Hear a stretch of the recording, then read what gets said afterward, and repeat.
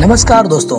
Iron man to का वह दृश्य याद है, जहाँ टोनी स्टार की मुलाकात एक परिचित चेहरे से होती है। जी आपने सही अनुमान लगाया। यह कोई और नहीं, बल्कि वास्तविक जीवन के टोनी स्टार एलन मस्क हैं। इस रोमांचक कैमियो के पीछे की कहानी जानने के लिए बने रहे। एलोन मस्क जिन्हें अक्सर मस्की या स्पेस डैड के नाम से जाना जाता है, अपने जीवन से भी बड़े व्यक्तित्व और स्पेस एक्स जैसे अभूतपूर्व उपक्रमों के लिए जाने जाते हैं। लेकिन क्या आप जानते हैं की हॉलीवुड की सुर्खियों में उनका भी एक पल था, यह सही है। मस्क ने आयरन मैन टू में एक अनोखी कैमियो भूमिका निभाई। मस्क और आयरन मैन फ्रेंचाइज के बीच का संबंध आपकी सोच से कहीं अधिक गहरा है। टोनी स्टार का शानदार किरदार निभाने वाले रॉबर्ट डाउनी जूनियर ने वास्तव में 2008 की फ़िल्म आयरन मैन के किरदार में ढलने के लिए मस्क की ओर रुख किया था। मस्क की प्रौद्योगिकी के प्रति लगाव और जो संभव है उसकी सीमा को आगे बढ़ाने की उनकी इच्छा ने उन्हें मार्वल के अरबपति हथियार डीलर के लिए वास्तविक दुनिया का करीबी एनोलॉग बना दिया। यह रिश्ता आयरन मैन टू के काम तक बढ़ा, जहाँ मस्क ने अपनी कैमियो भूमिका निभाई। लेकिन यह कैसे हुआ? खैर, यह पता चला कि डाउनी जूनियर और मस्क दोस्त बन गए और इस दोस्ती के कारण जीत की स्थिति पैदा हुई। मस्क को न केवल यह कहने को मिला कि वह आयरन मैन टू में है, बल्कि प्रोडक्शन कंपनी को भी बड़ा फ़ायदा हुआ। स्थान की लागत किसी फ़िल्म के बजट को इतना अधिक खा सकती है जितनी कोई अन्य चीज़ नहीं। एक सप्ताह के लिए स्पेस एक्स सुविधा को किराए पर लेने की लागत की कल्पना करें। यह खगोलीय होगा। लेकिन आयरन मैन टू की प्रोडक्शन कंपनी ने इसका समाधान ढूंढ लिया। उन्होंने बस पूछ लिया। मस्क ने उन्हें स्पेस एक्स में मुफ़्त में फ़िल्म देखने दी। हर जगह प्रोडक्शन डिज़ाइनर केवल स्पेस एक्स फैक्ट्री जैसा रेडीमेड और विशिष्ट स्थान पाने का सपना देख सकते हैं। आयरन मैन टू के अलावा एलोन मस्क ने विभिन्न फ़िल्मों और टेलीविज़न शो में कई कैमियो भूमिका निभाई है। तकनीकी इनोवेशन और करिश्माई व्यक्तित्व के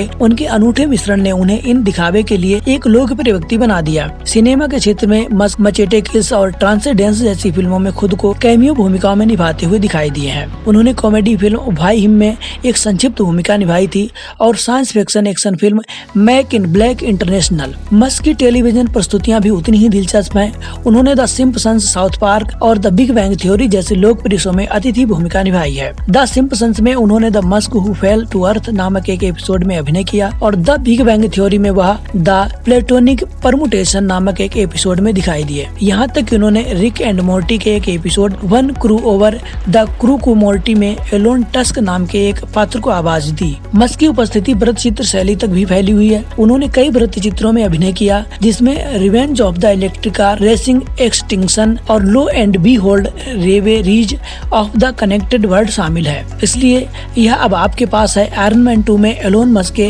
कैमियो और उनके अन्य परिस्थितियों के पीछे की कहानी उतनी ही दिलचस्प है, जितनी की वह खुद। यह हमारे प्रिय काल्पनिक पात्रों पर वास्तविक दुनिया के नव प्रवर्तकों के प्रभाव का एक प्रमाण है। तो अगली बार जब आप आयरन मैन टू या उल्लिखित कोई अन्य फ़िल्म और शो देखें तो उस विशेष दृश्य पर नज़र रखें और याद रखें कभी कभी जीवन कला की नकल करता है। इस मज़ेदार यात्रा में हमारे साथ शामिल होने के लिए धन्यवाद। अधिक रोमांचक सामग्री के लिए लाइक शेयर और सब्सक्राइब करना ना भूलें। वीडियो देखने के लिए धन्यवाद। मिलते हैं अगले वीडियो में।